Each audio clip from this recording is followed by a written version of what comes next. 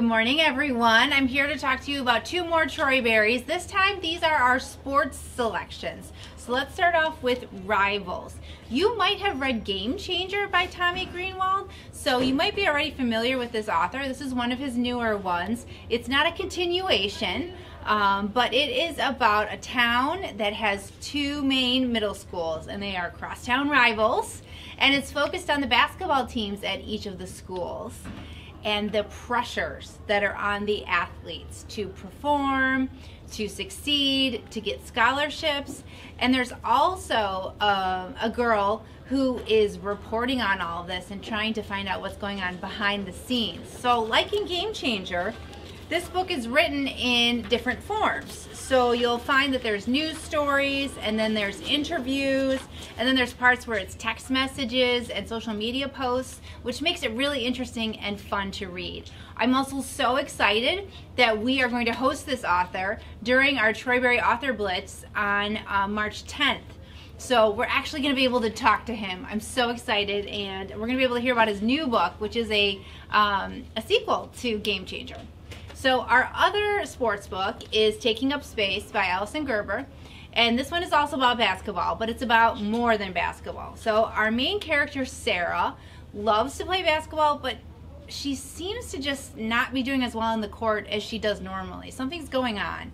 And so she decides, well, maybe if I control what I'm eating, that will help me to succeed more um, in basketball and she also has other things going on at home like when she brings her friends over there's never food in her house.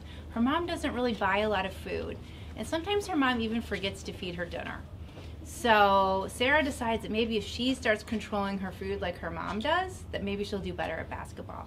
But she meets this friend um, who she's kind of interested in and he takes an, an interest in what's going on with her eating habits and you'll have to read to find out if she ends up making the choice um, to change what she's doing and also figure out what's going on with her mom.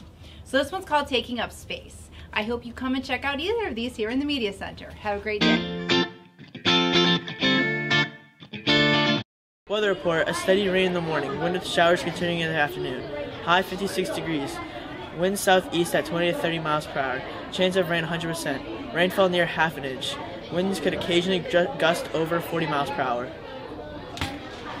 Today's birthdays Daniela Monroe and Emma Yang. Today's half birthdays Sharon Elawar, Anina Hashani, and Simon Wilson. Sorry if I mispronounced your name. Announcements for Thursday, February 9th. After school tutoring room 905, 245 to 345. Chess Club room 711, 245 to 345. Forensics Club's room 202, 245 to 445. So today, tomorrow is just like your animal day. Who's better, Michigan or Michigan State? You know, I'm not a fan of uh, neither of the teams, but I have to go with uh, Michigan State. My father actually went to school there. They play football. Correct answer, correct answer. Important question. Who's better, Michigan or Michigan State?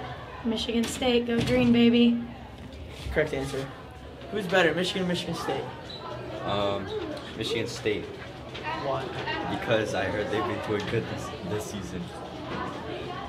Okay.